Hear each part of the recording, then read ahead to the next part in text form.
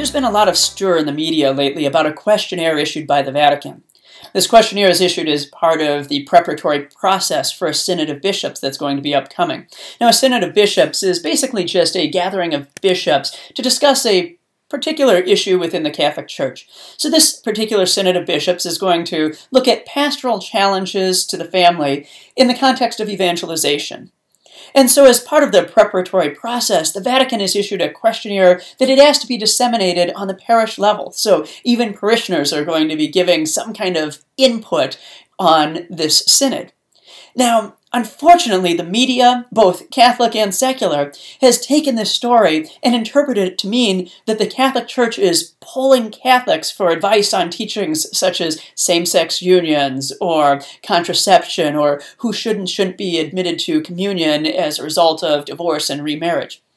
That's not it at all. In fact, the Vatican issued a statement clarifying that because it's been so misinterpreted. Rather, what the Vatican is doing is seeking to say, how well have we taught these truths?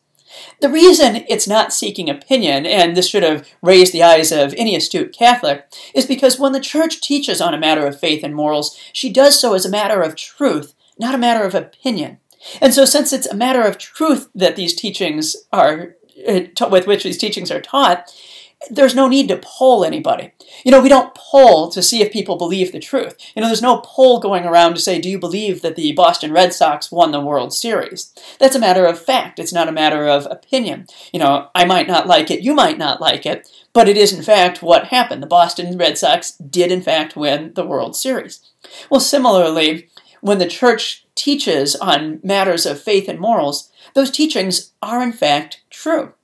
And whether I like it or you like it has no bearing on the truth value of that statement, of that teaching. And so what's going on with this questionnaire then isn't a polling to say, gee, should we change our teachings?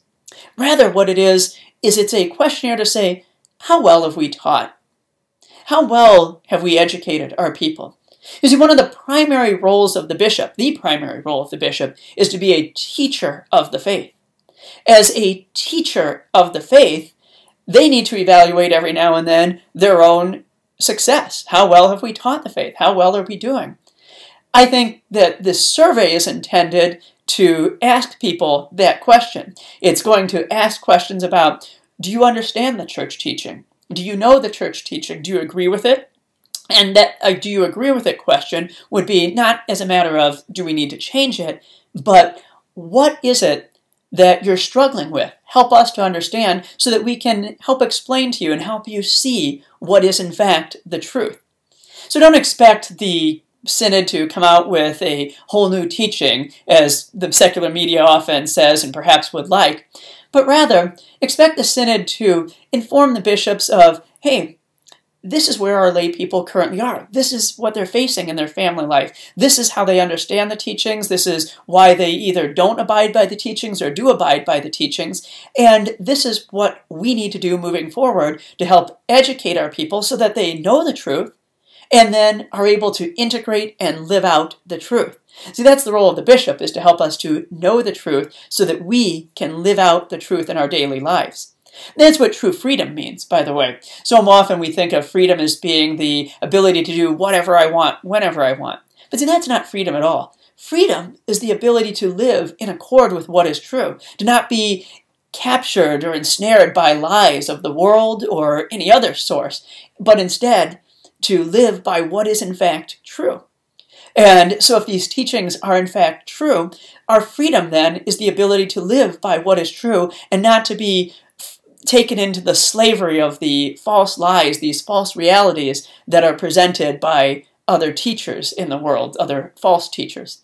And so this whole questionnaire is designed to assist the bishops in helping them to become better teachers so that all of us can live in the freedom given to us as the children of God.